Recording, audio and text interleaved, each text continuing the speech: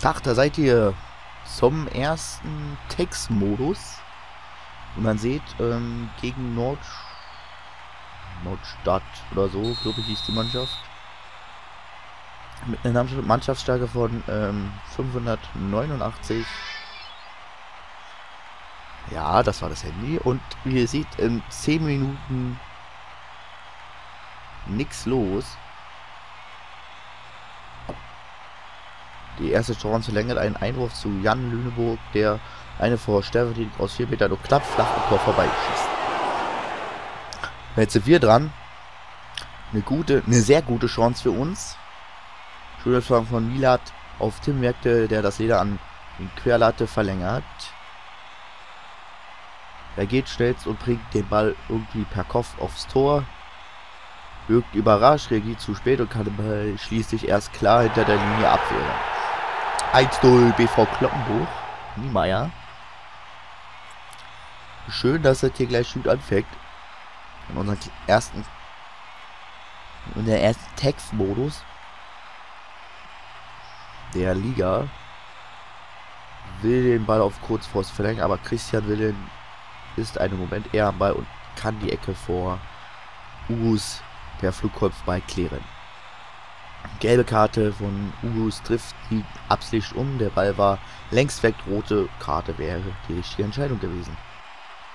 Okay, das ist auch schon mal schön. Unsere Mannschaft sieht ganz schön gut aus. Hier eine 1,0. Ich sag mal weiter so. EV Kloppen ist gut in der Defensive. Hat derzeit wenig Mühe, sich den ungenauen Angriffsversuche der Gastgeber zu wehren. Erwehren. Nur die nächste Chance. Ein Schuss von Tim Wertke wird vom Miroslav zur Ecke abgeblockt. Okay, erste Eckball für uns. Milat schlägt drin. Kommt raus, fängt die Ecke sicher ab. Okay.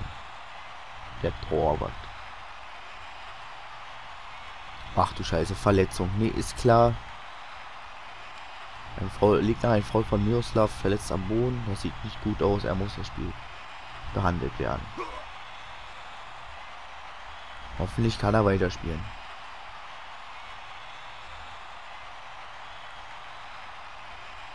Scheint steht alles gut für den Werke. Bis jetzt kommt er noch nicht. Wie die Ecke von Milat per Kopf klären, trifft dabei die Latte des eigenen Tores. Noch einmal Eckball. Da würde er sich am liebsten unter den Rasen verstecken. Das hätte schief gehen können. Latte.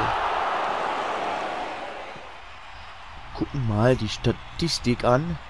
Wir haben drei kleine Chancen, eine Riesenchance. Jetzt haben wir noch eine. Da.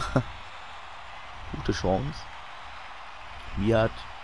Weiß nicht, ob er rauslaufen oder auf der Linie bleiben soll. Bleibt dann gegen Christian Westerfeld doch Sieger. Okay. Wir haben. Wir sind ja die Roten. Wir haben 58% Ballbesitz. Okay, den müssen wir doch auswechseln. Nee, das ist Kacke. Mann, ey, das war unser Bester zur Zeit im Sturm. Okay, wir haben auch nur ein Spiel gemacht. Er hat schon seine Stärken gezeigt mit seinen 66 Torriecher. Oh, jetzt haben wir einen roten ba Balle. Eine Balle. Jetzt kommt der erfahrene Mann. Der am Strafraum kann durch ein Foul von gestoppt werden. Und... Uh, Freistoß. Linsmeier versucht direkt mit einem Freistoß aus 19 Meter. Stefan Tilling hält ohne Probleme. Schön, schön. Also bis jetzt läuft ja alles nach Plan. Wir führen 1-0. Zwei Minuten werden angezeigt. Nochmal eine Chance. Ey, wenn das jetzt von U zu einer tollen Parade nach eben zuvor äh, Björn Nalda sich gegen Tim Hofmann in einen harten Zweikampf durchgesetzt hatte. Jo, die haben aber ganz schön viele Chancen. Ne? Und der Stefan Teling schon wieder der beste Spieler, oder was? Der Junge hat's drauf. 1,5. Außer die Offensive, die, die, die, die ist nicht wach. Die ist nicht wach. So, können wir mal gleich loben, den Torwart, den Tilling, den Hofmann loben wir auch. Die beiden motivieren, dass mal vorne was kommt. Und, äh, was machen wir noch? Okay, da hat sich nichts geändert. Dann machen wir die Frische hier so. Pop, pop, pop, pop. Dreimal. Ja, das sieht sehr gut aus. Wir verlieren das nicht mehr. Nee, verlieren werden wir das nicht mehr. Hoffe ich mal. Können auch die Statistik mal angucken. Schüsse aufs Tor 3. Die hatten nur zwei. Uh, uh, Ecke 3 hatten wir. Erfolgreiche Pässe 108. Ballbesitz. Fitnesschancen. Okay. Wenn da nichts wird, werden wir die links oder rechts außen noch immer auswechseln müssen. Und eigentlich die Billard gar nicht so schlecht finde. Weil das hat ja nichts heißen. Eine Lücke der Verteidiger und startet durch der Hünert. Der kürzt geschickt den Weg und kann den Versuch eines Hebers problemlos fangen. Ey, der Teeling ist ja echt stark. Die nächste sagt, ey, jetzt Konzentration. Oh. 100% hier der Weiß drin. Mit einem genialen Pass auf Ugus, aber der Kretsch für Tim Hofmann kretscht Opfer uns voll dazwischen. Das war wirklich mit allem letztem Einsatz. Okay, ruhig, Jungs, ruhig, Kopf runter. Beruhigt euch. Taktik. Vielleicht noch ein bisschen mehr Einsatz. 60% unserer Angriff kam über die rechte Seite. Echt die Abwehr noch ein bisschen nach hinten ziehen. So, dann pressen wir ein bisschen mehr.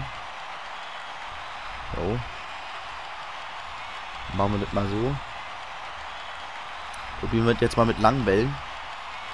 Oh nein, 100% hier, nee, legt schön auf, auf für Jan Mühlburg, aber der verzieht da, muss der junge Stürmer mehr draus machen. Die Balle werden, Balle, die Bälle werden jetzt nur rausgekloppt.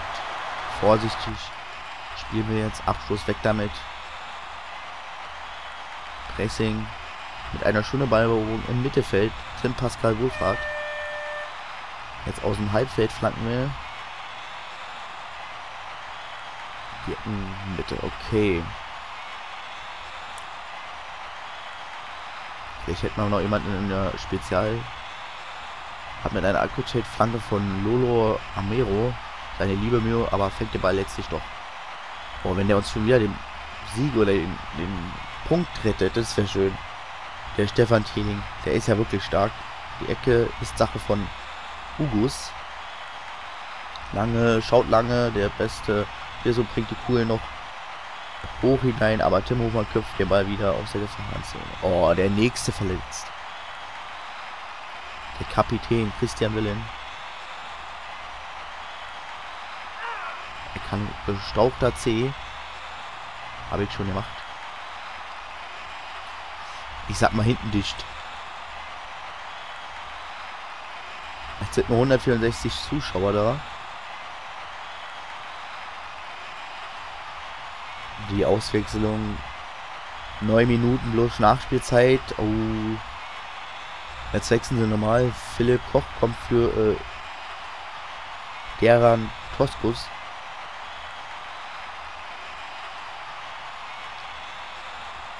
Faires Verhalten von BV Kloppenburg.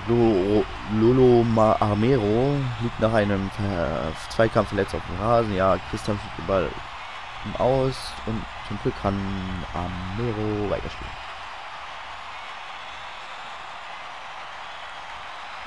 Eine klare Schwalbe von Jan-Marc Schneider wird von Schiedsrichter Christoph Trizai konsequent mit einer gelben Karte gehandelt. Jetzt kommt hinten dicht, Jungs. Die letzten zwei Minuten das der zweite Sieg. Ja, Schlusspfiff. BV Club hat damit maximale Anzahl von sechs Punkten zum Auftakt der Saison eingefahren. Das scheint super. Wieder Stefan Tening, der hatte doch erst das Spiel auch so überragend. 1,5. Der, der, der, hält uns in die Liga, wenn er so weitermacht. Mit seinem erstes Tor war der doch von Osnabrück Tim weg. Und der hat die Vorlage gegeben. Oh, hoffentlich. Oh, zwei Wochen. Unser nervenstarker Torischer 66. Der hat uns heute auch gefehlt. Das hat man gesehen. Zweite Halbzeit nichts mehr los. Und der Andreas. Oh, der hat nur 51. Oh, das, das ist schlecht. Lolo am Mario. Okay, keine Ahnung. Keine Ahnung, wo der herkommt. So, gehen wir mal Statistik. So, Teamstärke, Spielende. okay. Jetzt wartet mal. Jetzt wird abgehustet. Eins.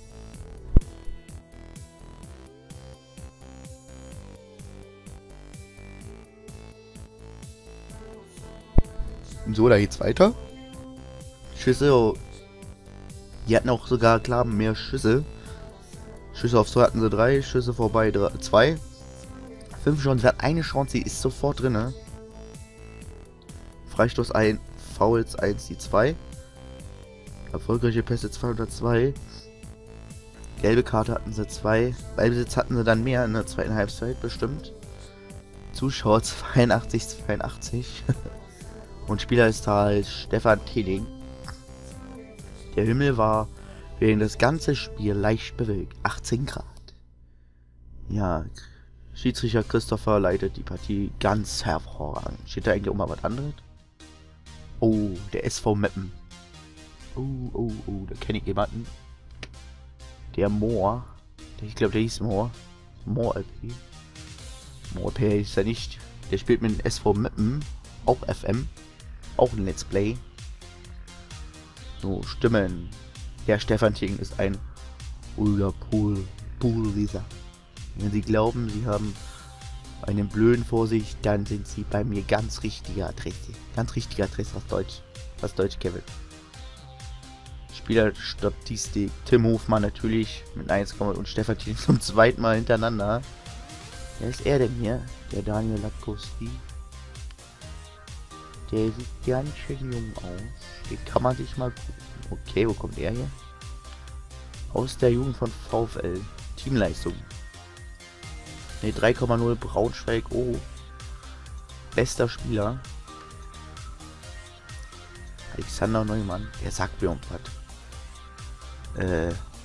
Äh, wer ist er denn? War nicht Fußball mit, äh, äh, Van Bergen? Der hat den da auch gehabt, den Alexander Neumann. War der der? War auch Stürmer.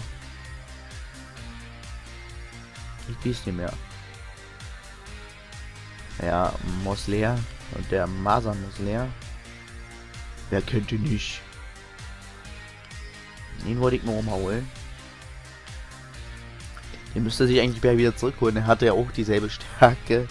69 oder so. der hätte locker auch in der ersten Mannschaft spielen können. Bei ihm dann. Der hat sich ja richtig stark entwickelt. Den Let's Player. Gucken wir nochmal auf die Ergebnisse.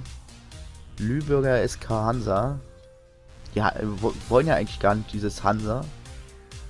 Ich habe keine Ahnung, die werden irgendwie so, die Fans wollen das nicht, aber der Verein oder irgendwie so. Habe ich was gelesen darüber. Die Lübe SK Hansa. Die haben sich eigentlich gefreut, dass sie wieder SK heißen oder so. Die ETSV Weiche. Dann gewinnen sie 1-0. VfB Oldenburg gegen. Pauli 2-2.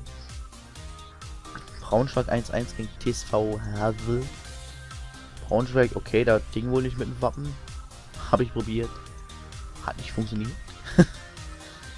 Und spielt auch nur unentschieden gegen Hannover 2. VfR und Neumünster, Goslar, Hamburgs, oh, Hamburg zweite Verlöte. Die haben 3-0 und gewinnen 4-1, ist ja schön. 1-0 und dann mit ganzes Spiel, oh, Werder Bremen. Ja, ja, Werder Bremen. Nicht mehr das mal, was sie waren. Uh, zwei verletzte, verletzte Spieler, ne? ist ja nicht gut. UCF belastet die Gehaltsliste des ist Hamburg e.V. Sport. Diese war Deutsche für Behinderte. Darf man ja nicht sagen. Nee, äh, nichts für Behinderte. Äh, für, für Leute für mich, ne? bin ja nicht mehr ganz geistig, bin ja nicht da. Dann müssen wir den Julian Bernhard und den Christian Willen für den André Thum. So, wer ist von den beiden Torischer besser? Oh, der hat, der spielt auf jeden Fall, aber es, oh, der hat eine schlechte, der ist nervenschwach oder wie heißt der doch? Oder schwache Nerven, also. This is not good. Ja, achso, war ja mit dem Training. Haben wir... Quatsch hatten wir ja schon alle. Okay, Team Hershey. Ja, der Tilling müsste hier schon wupp, Anführer sein. Zwei Spiele Weltklasse, der Typ.